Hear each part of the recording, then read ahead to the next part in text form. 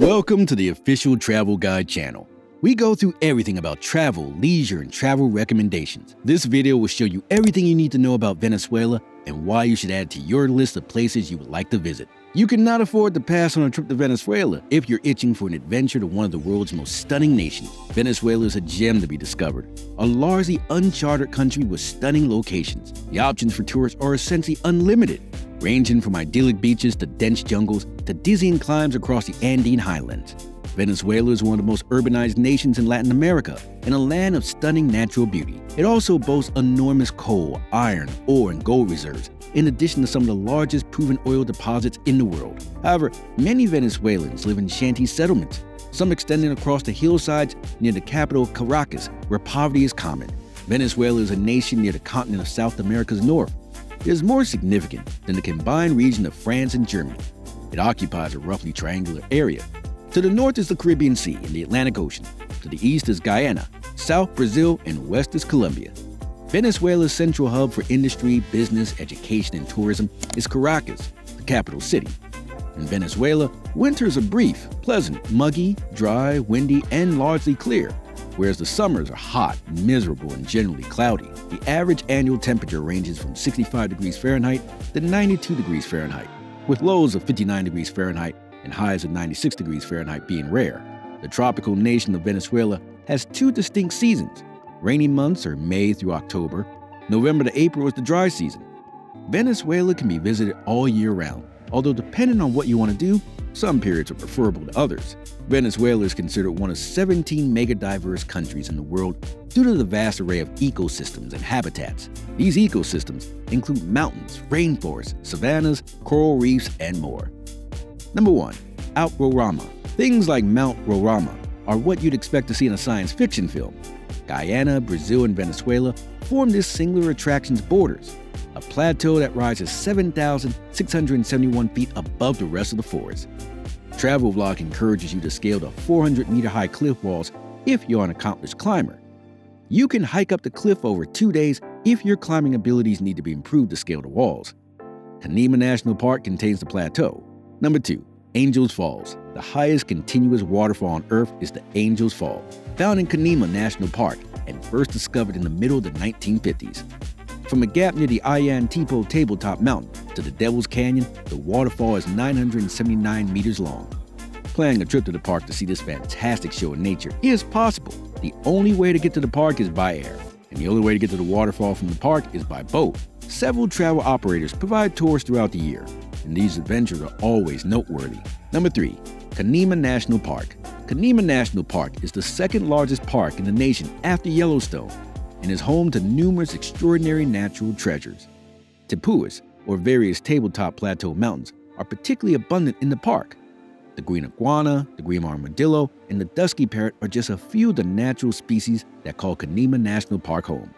The majority of people visit the park by plane. Number 4. Morrocoy National Park. You can find natural marvels in the shape of islands, caves, and islets at Morrocoy National Park. Visitors can experience and take pleasure in the numerous beaches, which have lots of coral reefs or white sands. In this park, you can find a variety of species. The park is a hub of activities and offer a variety of experiences for visitors. Cayo Sombrero, Cayo Borracho, Playuelita, and Playuela, which are excellent for snorkeling, are popular destinations for activities. Number 5. Cerro Autana, Autana Mountain. One of Venezuela's tabletop mountains is this one. A mountain is an excellent place for adventure, especially rock climbing, and it is home to a wide variety of life forms and extensive plant communities. This peak also allows for exotic base jumping.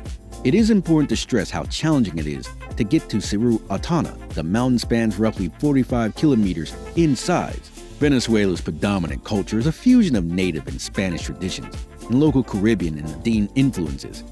People from Venezuela are friendly, hospitable, and open. Generally speaking, their mutual goal for justice and equality unites them. Venezuela cuisine is colorful and varied. There is no doubt that food lovers will be in for a fantastic culinary trip with all the European influences from Spain, Portugal, Italy, and France, as well as West African and Native American customs. Number 1. Tequeños. Tequeños are an everyday go-to dish in Venezuela when one is in the mood for a snack. You fry these puffy, pastry-wrapped, savory Queso Blanco cubes to create cheese-filled breadsticks.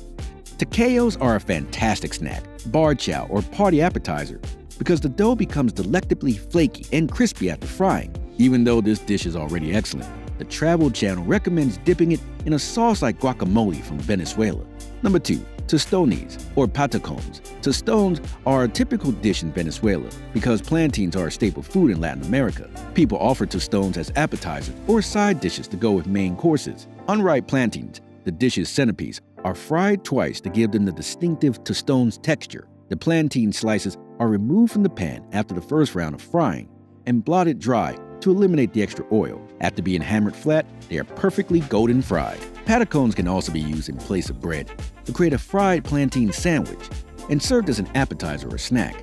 The sandwich contains various contents, including shredded roast chicken, tomato, lettuce, avocado, and cheese. Number 3. Empanada.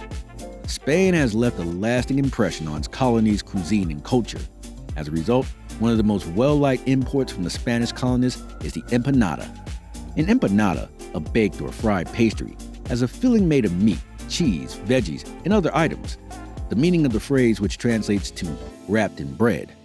The toasted dough used to make the classic Venezuelan empanada is formed from grounded maize and turns yellow from the annatto used to color it. You can also make it using wheat flour. Although there are many different fillings, cheese is ubiquitous they may be pabellón, a full-on dinner inside, or domino, cheese, and black bean combination. Number 4.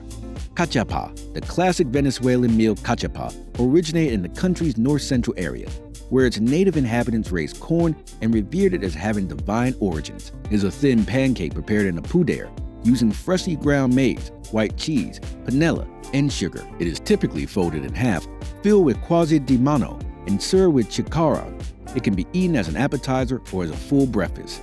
They resemble pancakes, however, it has a thicker and more uneven texture due to the additional maize. Each bite is a savory version, which has a crispy exterior and a fluffy interior, and is a delectable experience. It would take a lifetime to fully appreciate all of Venezuela's breathtaking beaches, and it would be impossible to name them all. Number 1. Marisquieu. On the island of El Gran Roque, there is a place called Marisquieu that has some of the finest white sands you'll ever see. Here, the waves are breathtaking, and the sand is so thin and powdery that it almost seems like sugar. It is one of the best family beaches in Venezuela because of the calm waves and shallow seas off the coast, which are ideal for small children to splash around in. This beach offers fishing opportunities, and it is not unusual to see anglers casting their lines to see what they can reel in. Marisquieu's proximity to some excellent taverns and restaurants allow you to spend an entire day without running out of food. Number 2. Cayo de Agua. Cayo de Agua offers a long, narrow stretch of fine white sand and has the sensation of a secluded tropical island. Despite being a well-known beach in Venezuela, it always feels energized and allows tourists to unwind by lying down and listening to the calm splash of the waves. The tide can be unpredictable here, so keeping attention is vital. Walking out along the sandbar can be an enjoyable place to take pictures. However, no restrooms or other amenities are nearby, making it more suitable for a few hours rather than a whole day. Number 3. Mochima National Park. Check to visit Mochima National Park if you're seeking a good beach on the Venezuelan mainland. On the northeastern coast, a protected region gives picture postcard vistas in all directions and many trees, hills, and plants. There are a lot of animals to see here, and you can even explore a few sandy beaches. Mochima National Park offers snorkeling, swimming, and even scuba diving opportunities. Local businesses also offer boat tours of the region and adjacent islands. In Venezuela, you may stay in some incredible inexpensive lodgings and yet spoil yourself with a bit of luxury. You have more options when choosing a place to unwind at the end of the day because this is a more affordable country to travel around than many other holiday destinations around the world. Number 1. Pestana Caracas Premium City and Conference Hotel. The hotel's excellent location in the city allows guests to access the local stores easily. The hotel is cozy, the suites are spacious and elegant, and there are fantastic views from both the city street and the side-facing Avila. As a result, the hotel has a sauna and a steam room, you can see one of the best views in the city in the club on the 18th floor. One of the most excellent cheap hotels in Caracas, Venezuela, with fantastic views. Number 2. Hotel Alex in Caracas. This hotel is a great value compared to the other 4-star hotels in Caracas. It is highly new, which both helps and hurts it. Both the rooms and the entire facility are immaculate. The internet speed is lightning fast and the bed is quite comfortable. A lovely opulent hotel is conveniently close to numerous modes of transportation. It is located in the La Candelaria district, close to subway stops and the city center. The rooms are comfortable, the staff is friendly, the decor is contemporary, and everything is clean. The quality of sleep is also excellent. Excellent lodging choice and undoubtedly among the top value hotels in Venezuela's capital city. Number 1. Grand Meliá Caracas Hotel. The Grand Meliá is a fantastic choice if you're traveling for work. This beautiful hotel showcases opulent comfort in European style. There are numerous eateries on site, and occasionally there are even live flamenco performances. The Sabana Grande neighborhood offers many other restaurants and shops to check out. There are meeting rooms that can accommodate large groups, which is a significant advantage for business travelers. The Sabana Grande subway stop is very close by. Number 2. Intercontinental Tamanaco, Caracas. The Intercontinental brand is well known to upscale travelers, and the location in Caracas is unquestionably worthwhile. It is close to Las Mercedes, a posh neighborhood close to places of business and shopping. The Simon Bolivar Caracas International Airport is only a 45 minute drive away. There are tennis courts nearby, an outdoor pool where you can take advantage of the lovely weather in the nation, and Le Gourmet, one of the most excellent restaurants in town, is right there. The village of El Hatillo's antique shopping, riding the cable car up the mountains, and simply soaking in the sunset are all popular things to do while visiting this area. Have you visited Venezuela? Please feel free to share your experience in the comment section. We hope you enjoyed our video about everything you need to know about your trip to Venezuela. Make sure to hit the subscribe button and ring that notification bell. Please stick with us for more travel guide videos. Travel Guide channel makes your travel easy.